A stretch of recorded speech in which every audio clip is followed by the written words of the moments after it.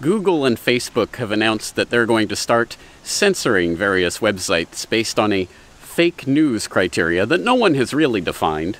But lo and behold, suddenly a liberal college professor comes out with a fake news list that includes many of your favorite alternative media websites and gets promoted by the LA Times and USA Today and other mainstream establishment mouthpiece organs of the propaganda establishment.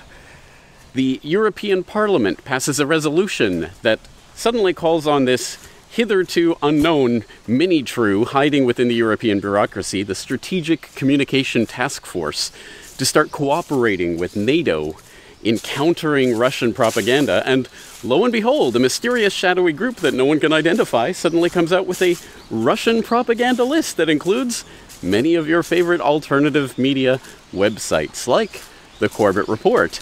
And this gets promoted on the front page of the Washington Post. I don't know if you've noticed, but the war is actually begun. We are in the midst of the media wars. And the time for standing idly by and not choosing a side has already come and gone. There is no time for sitting on the fence. We are now in a position of actual combat. And the alternative media cannot do it alone because the alternative media is you. It's not that we rely on your support, it's that you are the resistance. You are the alternative media, and you are making the choice right now whether you're going to continue supporting the propaganda establishment with your time, your energy, and your money, or whether you're going to start supporting the alternative media. Now, thankfully, that decision is being made by more and more people every single day. And for those who didn't notice, Newsbud just had a remarkably successful phase two campaign raising over $130,000 to continue doing what they're doing over at newsbud.com. So we are putting up a fight. We are putting up resistance. And I do not want people to start thinking, oh, well, the establishment is going to crack down and there's nothing we can do. They want you to believe that we are weak, that we can easily be defeated. But even if we are weak compared to the establishment propaganda matrix, when will we be stronger? At what point? Next week? Next year?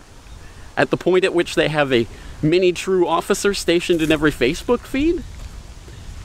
The war is actually begun. Why stand we here idle?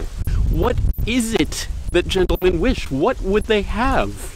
Is life so dear or peace so sweet as to be purchased at the price of chains and slavery? Forbid it, Almighty God.